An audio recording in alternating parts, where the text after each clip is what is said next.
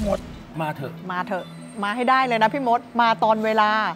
สามโมงเย็น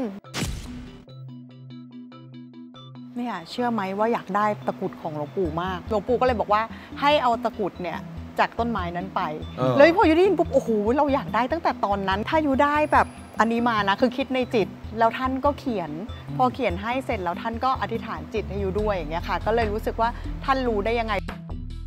พี่มดมาเถอะมาเถอะ มาให้ได้เลยนะพี่มดมาตอนเวลา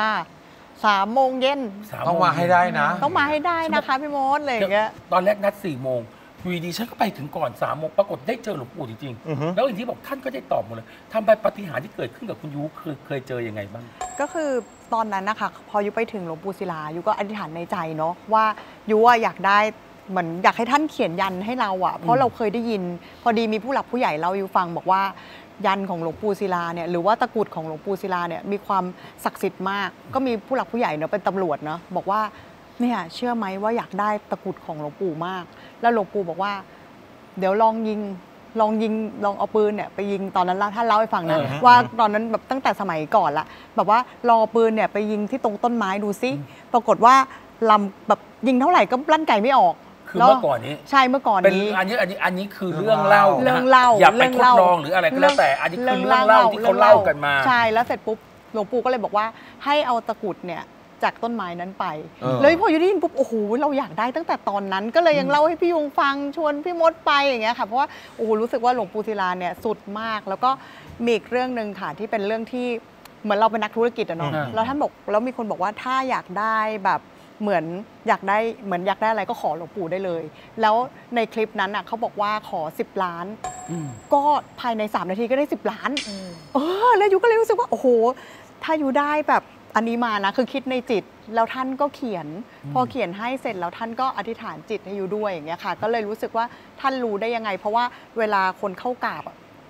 คนเยอะมากนะคะ แล้วเราก็ไม่กล้าที่จะเข้าไปแบบเหมือนแทรกใครเลยใช่แต่ว่าแต่ว่าท่านท่านท่านทราบในจิตได้ยังไงว่ายูอยากได้สิ่งนี้อะไรอย่างเงี้ยค่ะ แล้วคุณยุงเองได้มีโอกาสรู้จักกับยุอยู่แล้ว โอ้โห รู้จักกับยุทธทำงานแกรมมี่แล้วไปถ่ายร้านก๋วยเตี๋ยวอ่าร้านเยาวราช เออใช่ พี่มดดำเชื่อเปล่าผมเนี่ยไม่เชื่อเรื่องไอ้พวกนี้เลย เชื่อ ผมเนี่ย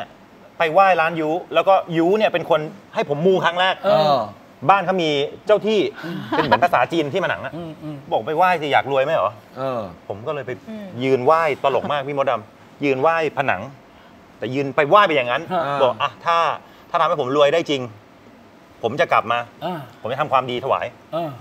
นี่คือจุดเริ่มต้น แล้วก็จริงๆก็เริ่มมีชื่อเสียงมีอะไรขึ้นมา เริ่ม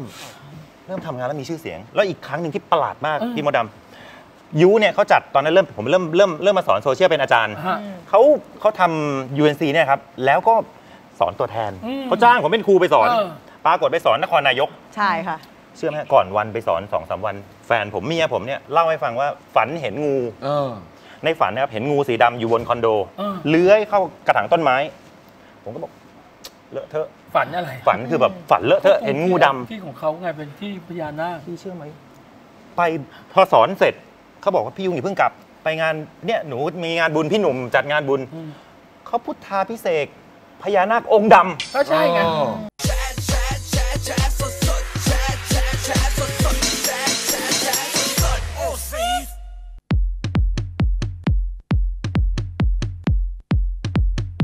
เรื่องนั้นก็อยากจะแชร์ เรื่องนี้ก็อยากจะแชร์ เอาให้หมดจัดให้เต็มแชร์แบบกันหมด